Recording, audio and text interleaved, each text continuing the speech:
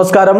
Raf ടോക്കിന്റെ football ടോക്കിലേക്ക് ഏവർക്കും സ്വാഗതം. എഫ് സി ബാഴ്സലോണയുടെ പ്രസിഡന്റ് കാൻഡിഡേറ്റുമാരിൽ ഒരാളായ വിക്ടർ ഫോണ്ട് ബാഴ്സലോണയെ വീണ്ടും പഴയ രൂപത്തിലേക്ക് കൊണ്ടുവരാൻ വേണ്ടി എട്ട് താരങ്ങളെ കണ്ടുവച്ചിരിക്കുന്നു എന്നൊരു വാർത്തയാണ് ഇപ്പോൾ പുറത്തേക്ക് വരുന്നത്. എന്ന് പറയുമ്പോൾ വരുന്ന സമ്മർ ട്രാൻസ്ഫർ വിൻഡോയുടെ സമയത്ത് ഫ്രീ ഏജന്റുമാരാകാൻ പോകുന്ന എട്ട് താരങ്ങളെയാണത്രേ അദ്ദേഹം പരിഗണിക്കുന്നത്. നമുക്കറിയാവുന്ന പോലെ നിലവിൽ സാമ്പത്തികമായി വലിയ പ്രതിസന്ധിയിലൂടെയാണ് ബാഴ്സലോണ അടക്കമുള്ള ക്ലബ്ബുകൾ കടന്നു പോകുന്നത്. അതുകൊണ്ട് തന്നെ വലിയ തുകക്കുള്ള ട്രാൻസ്ഫറുകൾ നടക്കാനുള്ള സാധ്യതയില്ല.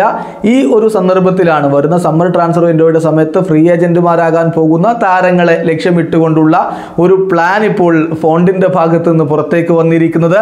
എട്ട് താരങ്ങൾ സെർജിയോ അഗ്യൂറോ അടക്കം എട്ട് താരങ്ങളെയാണ് അത്രേ അദ്ദേഹം ടാർഗറ്റ് ചെയ്യുന്നത്. നമ്മൾ ആ ഒരു ലിസ്റ്റിലേക്ക് പോവുകയാണ്. ഒന്ന് തീർച്ചയായിട്ടും എറിക് ഗാർഷിയാണ് ഗാർഷിയെ കഴിഞ്ഞ ഒരു സമ്മർ ട്രാൻസ്ഫർ വിൻഡോയുടെ സമയത്ത് തന്നെ ബാഴ്സലോണ സൈൻ ചെയ്യാൻ വേണ്ടി ശ്രമിച്ചതാണ് മാഞ്ചസ്റ്റർ സിറ്റിയിൽ നിന്ന്. പക്ഷേ അത് സാധിച്ചില്ല. ഇപ്പോൾ അദ്ദേഹം വരുന്ന സമ്മർ ട്രാൻസ്ഫർ വിൻഡോയുടെ സമയത്ത് ഫ്രീ ഏജന്റ് ആകാൻ പോവുകയാണ്.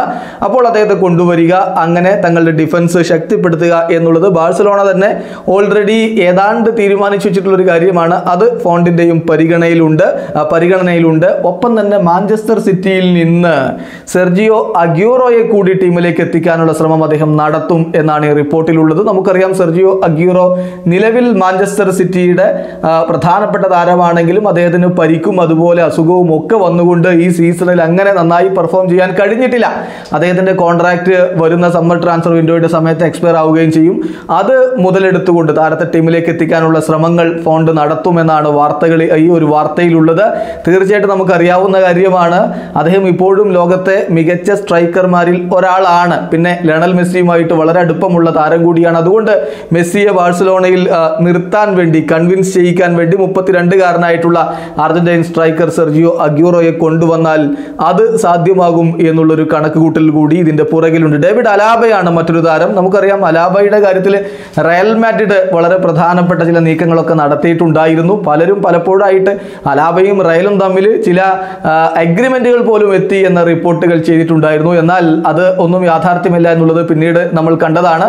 എങ്കിലും അലാബ വരുന്ന സമ്മർ ട്രാൻസ്ഫർ വിൻഡോയുടെ സമയത്ത് ബയൺ മ്യൂണിക്ക് വിടുമെന്ന കാര്യം ഉറപ്പാണ്. അദ്ദേഹം ഫ്രീ ഏജന്റ് ആവുകയാണ്. അദ്ദേഹത്തിന് വേണ്ടിയിട്ടുള്ള ഒരു ശ്രമം കൂടി ഇപ്പോൾ ബാഴ്സലോണ നടത്താൻ പോകുന്നു. അതായത് ഫോണ്ട് വരികയാണെങ്കിൽ നടത്താൻ പോകുന്നു എന്നുള്ള വാർത്തകൾ വരുന്നു. പക്ഷേ അദ്ദേഹത്തിന്റെ ഒരു സാലറി വളരെ വലുതാണ്. പത്ത് മില്യൺ ആണ് അദ്ദേഹം പെർ സീസണിന് ചോദിക്കുന്നത്. അത് എത്രത്തോളം ബാഴ്സലോണക്ക് താങ്ങാൻ കഴിയുമെന്നുള്ളത് കണ്ടറിയണം. മറ്റൊരു പ്രധാനപ്പെട്ട കാര്യം റൊണാൾഡോ കൂമാൻ തന്നെ കഴിഞ്ഞ സമ്മർ ട്രാൻസ്ഫർ വിൻഡോയുടെ സമയത്ത് ടീമിലേക്ക് എത്തിക്കാൻ വേണ്ടി ശ്രമിച്ചിട്ടുള്ള ജോർജിനോ വൈനാൾഡുമാണ് ലിവർപൂൾ താരമായ അദ്ദേഹത്തിന്റെ കോൺട്രാക്റ്റും എക്സ്പയർ ആകാൻ പോകുന്നു. വൈനാൾഡുമിനെയും ഇപ്പോൾ ലക്ഷ്യം വെച്ചിരിക്കുന്നു. യുവാൻ ബെർനാറ്റ് ആണ് മറ്റൊരു താരം പി എസ് സിയുടെ ഡിഫൻഡർ ആയിട്ടുള്ള. യുവാൻ ബെർനാറ്റ് അദ്ദേഹം തീർച്ചയായിട്ടും അദ്ദേഹത്തിന്റെ കോൺട്രാക്റ്റ് എക്സ്പയർ ആകാൻ പോകുന്നു. ലെഫ്റ്റ് ബാക്ക് പൊസിഷനിലേക്ക് ഒരു പക്ഷേ അദ്ദേഹത്തെ ഉപയോഗപ്പെടുത്താൻ കഴിയും. അലാബ അല്ലെങ്കിൽ ഈ ഒരു ബെർനാറ്റ് എന്നുള്ളതാണ് ഇപ്പോഴത്തെ ഒരു ലക്ഷ്യം എന്നാണ് പുറത്തേക്ക് വരുന്നത്. മെംഫിസ് ഡീപ്പയാണ് മറ്റൊരു താരം. ഡീപ്പയുടെ കാര്യത്തിലും റൊണാൾഡോ ഗുമാൻ കഴിഞ്ഞ സമ്മർ ട്രാൻസ്ഫർ വിൻഡോയുടെ സമയത്ത് ശ്രമങ്ങൾ നടത്തിയതാണ്. പക്ഷേ ബാഴ്സലോണക്ക് സൈൻ ചെയ്യാൻ കഴിഞ്ഞില്ല. ഇനി വരുന്ന സമ്മർ ട്രാൻസ്ഫർ വിൻഡോയുടെ സമയത്ത് അദ്ദേഹം ഫ്രീ ഏജന്റ് ആവുകയാണ്. അത് മുതലെടുക്കാനുള്ള ശ്രമം അവിടെ ഉണ്ടാകും. നെറ്റോയുടെ റിക്വസ്റ്റ് ഉണ്ടായിരുന്നു. അദ്ദേഹത്തിന് ക്ലബ്ബ് വിട്ട് പോകണമെന്ന്. അതുകൊണ്ട് ഒരുപക്ഷെ നെറ്റോ ക്ലബ്ബ് വിട്ട് പോകാനുള്ള സാധ്യതയുണ്ട്. പകരക്കാരനായിട്ടൊരു ഗോൾ കീപ്പറെ കൂടി കൊണ്ടുവരേണ്ടതുണ്ട്. ഗ്രനഡയുടെ റൂയി സിൽവയാണ് ലക്ഷ്യം വെച്ചിരിക്കുന്നത് എന്ന് കേൾക്കുന്നു. ഒപ്പം തന്നെ മിലാന്റെ ചലനോളു. ചലനോളുവിന്റെ ഒരു കോൺട്രാക്ട് എക്സ്റ്റെൻഡ് ഒരു കോൺട്രാക്ട് എക്സ്റ്റൻഷൻ ഇതുവരെ എ സി മിലാനിൽ നടന്നിട്ടില്ല. അദ്ദേഹവും ഫ്രീ ഏജന്റ് ആകാൻ പോവുകയാണ്. അദ്ദേഹത്തെയും വിക്ടർ ഫോണ്ട് ലക്ഷ്യം ലക്ഷ്യം വെക്കുന്ന തരത്തിലുള്ള വാർത്തകൾ പുറത്തേക്ക് വരുന്നു. ഇതൊക്കെ ഏത് രൂപത്തിലാണ് പുരോഗമിക്കുക എന്നുള്ളത് കണ്ടറിയണം. ഇപ്പോൾ സ്പാനിഷ് മാധ്യമങ്ങൾ ഇത് റിപ്പോർട്ട് ചെയ്തിട്ടുണ്ട്. മാർക്ക ഇങ്ങനെയുള്ള ഒരു ലിസ്റ്റാണ് തന്നിട്ടുള്ളത്.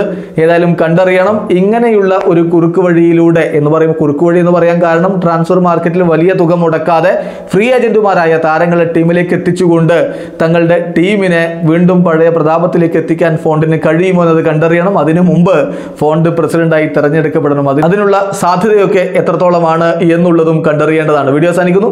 ഫുട്ബോൾ ലോകത്തെ കൂടുതൽ വിശേഷങ്ങളുമായി റാഫ്റ്റോക്സ് വീണ്ടും എത്താം.